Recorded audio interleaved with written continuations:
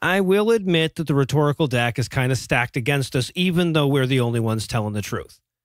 And when you're trying to convince people of your side of an argument, being demonstrably correct is certainly an advantage, but for a lot of people, it's not definitive, especially when your truth is so much uglier than their lie. In a sense, we're always destined to be the asshole in the room because the lie is that your loved one is living on in paradise, and any attempt to puncture that lie is, to most people, a dick move right? How dare you take that comforting illusion away from people? In many ways, this question is more central to the religious debate than the one about God existing. And that's because to some people, it's the more important question. You know, most of us live in countries where God has been defined down to a more or less impotent figure who could work in mysterious ways, but mostly doesn't. And that means that whether or not he exists isn't going to make any real difference in your day to day life right? He might be a moral arbiter, but since his moral judgment always lines up with your own, it doesn't really make a difference in terms of your behavior. Of course, you and I know better because we recognize all the fucked up consequences of theism, both for an individual and a society, but we're not trying to convince you and me. The people sitting on the fence often look at God like Russell's teapot. You can't prove him, you can't disprove him, and the world is the same whether he's there or not.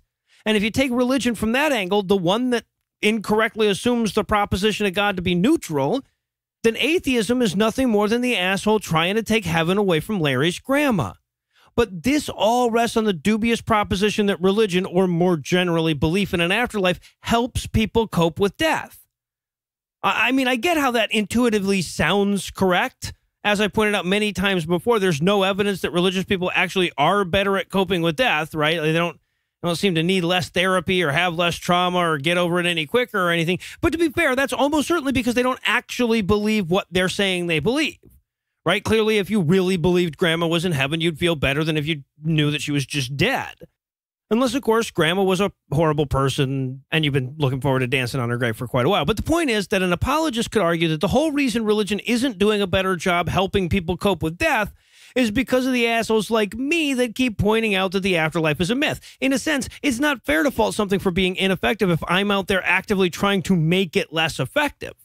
Now, the whole notion that everybody just needs to lie to themselves better brings up a host of complex moral questions that makes this a pretty precarious limb for apologists to strand themselves out on in the first place, right? Like, like if the entire world uh, agreed to lie and tell Larry that his recently deceased grandma was alive and well and he just missed her, she was just here a minute ago, we'd have made her death easier for him to cope with. But I don't think anybody would argue we'd behaved morally. But whether or not the ends justify the means, many people still carry around this misguided notion that we're the bad guys because the lie we're trying to expose is a comforting lie. But there's more wrong with this argument than its simple lack of morality. It also assumes that the belief in the afterlife only helps. That is not remotely the case. You know, consider, for example, that heaven is just half of the posthumous destinations Christianity has to offer. I mean, I guess that's different from denomination to denomination, but there's exactly zero of them where everybody gets to go to paradise, right? I mean, nobody ever says grandma's in a worse place now, but statistically speaking, some grandmas would have to be, wouldn't they? And even talking about the various beliefs between denominations has given Christian theology way more credit than it's due. Sure, there are some sects that have very specific rules and beliefs about the afterlife and believers that rigorously adhere to them, but most don't. Right? Like most Christians in the English speaking world have some sort of wishy washy theology that's mostly informed by Hollywood. You know, there's a heaven and there's most often a hell, but there are also ghosts and shit.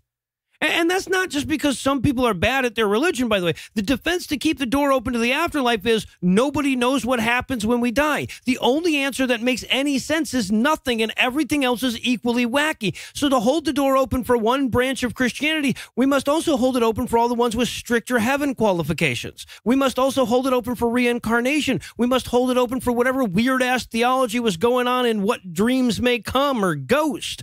If your argument is nobody knows and therefore you're patently absurd thing is possible, all the other patently absurd shit is also possible. This is not just a theoretical concession that you have to make in some larger argument. This happens inside the brain of the Christian. You built your entire hope on the concept of doubting the obvious, so you can't help but also doubt your hope, right? Doubt is how you got there. The other day, I was sitting with a recently widowed Christian friend a neighbor pointed out that some clock on her wall had stopped, and the time it had stopped was around the time of her husband's heart attack the day before. She became convinced that the clock had stopped at the moment of his death and became so distraught that we had to take the clock down, put it in a closet. She had to take medicine. She needed to lay down. She desperately wanted to know what it meant.